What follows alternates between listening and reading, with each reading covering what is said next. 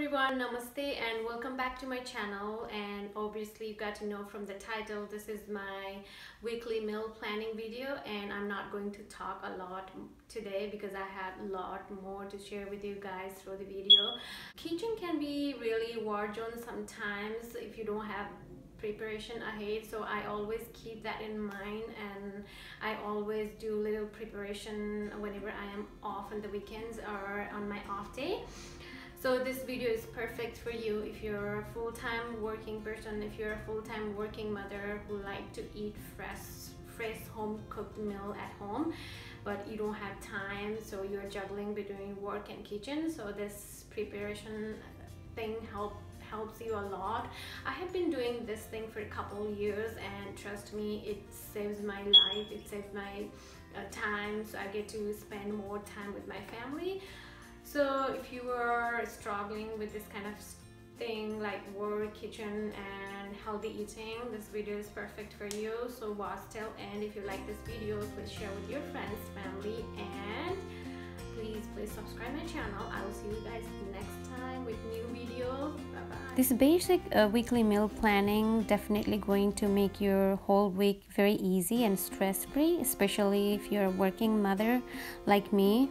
And my most important part of my meal planning is to write down the menu. I usually write down the menu on menu board before I go to groceries. As you can see, all these are the breakfast side. I usually don't do planning for breakfast. But for lunch and dinner, I usually plan for the whole week. And these are my, you can see roti, sabji, momo, pasta. And most of the uh, lunch things are rice and so writing down this meal planning thing makes your grocery trip very easy, very stress-free. You don't have to think that what you're gonna get from the groceries. Trust me, taking your child to grocery shopping is very fun for them and for uh, for you as well, and they will learn like healthy eating habits from early age back from store now and these are the vegetables. I'm going to make a meal preparation for the whole week and before i chop these vegetables i like to wash it uh, thoroughly in water. Should always wash our vegetables and fruits before we cut it so that way we don't lose any nutrient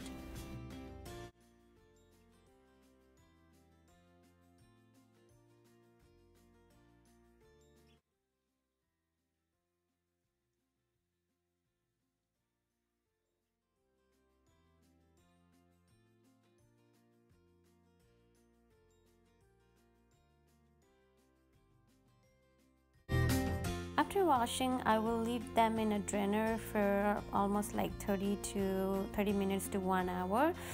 So that way it will stay nice and dry. And also I use paper towel or any clean washcloth or clean towel to make it dry. So it will go it will stay nice and dry for the whole week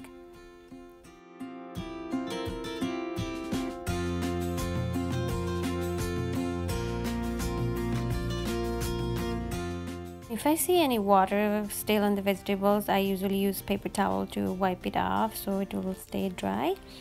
So yeah, use paper towel or any clean towel.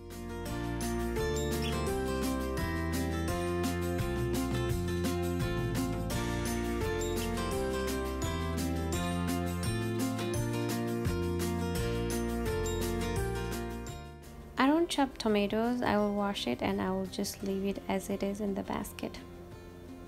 Most hardest part of my meal preparation is this spinach. I always i'm still struggling to keep this spinach fresh so i'm using lots of paper towel and i will keep it this for like a couple hours and maybe i will store in the plastic container I always keep a peeled ginger and garlic in separate container but it has to be peeled for the whole week so I don't have to struggle every day peeling.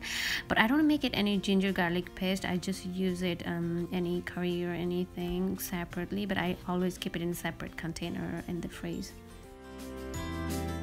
And my most favorite part is making dough for like at least three days. It it will save my tons of time. I don't have to make a roti dough. I don't have to make a tortilla dough every day. So i usually keep this for like at least three days.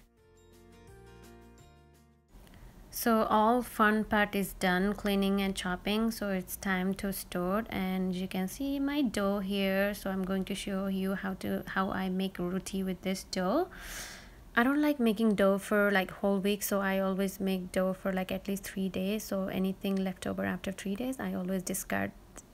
This is boiled beans. Uh, this is very high in protein. I usually keep this in uh, refrigerator for like a week and you can make a recipe whatever you can. Like i'm making this curry from that boiled beans and and some boiled chickpea here. I will keep this for like a week too and you can make a salad or anything or soup or any gravy from there. potatoes here. I always keep boiled potatoes in my freeze because potatoes goes with everything. You can make tons of recipe from potatoes like uh, in our language we call aloo chop and cutlet and potato spicy curry lots of thing. And my favorite potato is my favorite food too and you can see my spinach is still watery. I put lots of paper towel. I think I'm gonna make uh, do dry it again.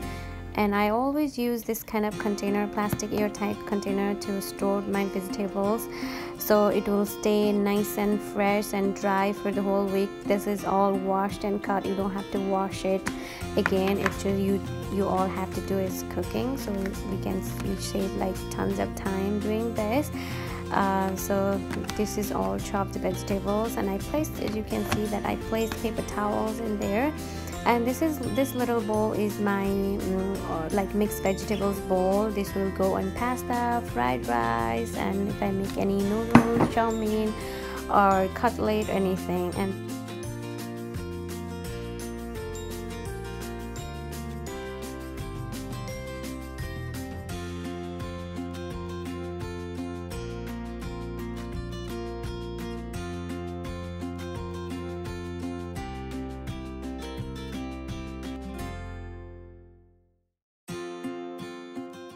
and these vegetables usually stays very fresh for the whole week and if i see anything is going to be wasted i always try to use it or put it in the freezer and then i can use it like later that month or something. And this is as you can see i placed the paper towel underneath. That way the paper towel will drain all the water and it will help to remain very dry and fresh is my salad beans. I usually keep all the salad items in the ba this basket and this is really cute and easy. Just take it out and take it in and this is really easy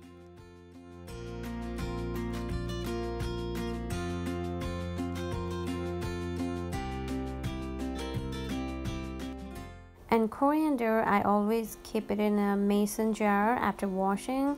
I didn't buy coriander today. This is from my last week. Uh, it usually lasts for 15 days if you uh, keep it in the mason jar and cover it with a, a plastic bag any kind of clean plastic bag. And do not do it really tight just tie in the neck of that jar so this little preparation helps me in a lot ways like uh, it helps me to eat um, fresh and home cooked meal every day for me and my family and saves lots of money and save time and then I love home cooking food so if you love home cooking please give me a big thumbs up subscribe my channel. I will see you guys next week. Thank you for everything. Bye bye